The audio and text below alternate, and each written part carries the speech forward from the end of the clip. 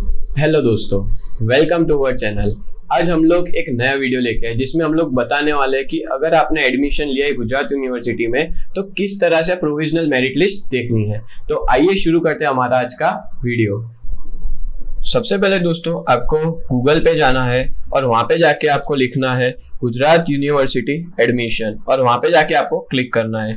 उसके बाद आपके सामने ये पेज ओपन हो जाएगा, जिसके अंदर आपको गुजरात यूनिवर्सिटी एडमिशन मतलब जियो एडमिशन पे जाके क्लिक करना है। उसके बाद आपके सामने ये पेज ओपन होगा। अगर आप चाहो तो हमारे डिस्क्रिप्शन में जाके ये लिंक आप पा सकते हो। आपको बीकॉम बीबीए बीसीए एमएससी या एमबीए देखना है या बीए देखना है तो उसमें से कोई भी एडमिशन प्रोसेस में आपको क्लिक करना है। उसके बाद आपके सामने ये वाला पेज ओपन हो जाएगा, जिसमें आपको स्टूडेंट कॉर्नर या तो मेन्यू लिखा होगा, उसमें जाके आपको लॉगिन पे क्लिक करना है।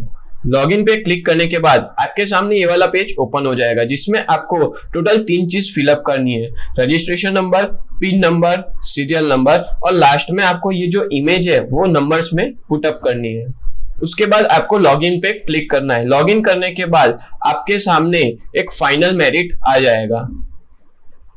लॉगिन करने के बाद आपके सामने ये वाली स्क्रीन ओपन होगी, जिसके अंदर आपको कंबाइंड रैंक कैटेगरी रैंक और मेरिट मार्क्स देके रखा होगा। दोस्तों, ये फाइनल मेरिट है। मेरिट मतलब कि आपको कौन सा रैंक अलॉट हुआ है गुजरात यूनिवर्सिटी के द्वारा, और इसमें जाके आप अपनी कॉलेज प्रिफरेंस को भी देख सकते हो।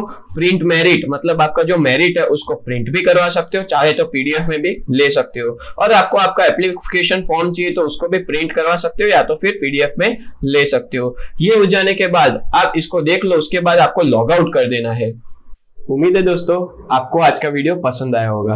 अगर आज का वीडियो आपको पसंद आया तो आपके फ्रेंड्स के साथ इसको शेयर कीजिए और हमारे चैनल को सब्सक्राइब कीजिए। Thank you so much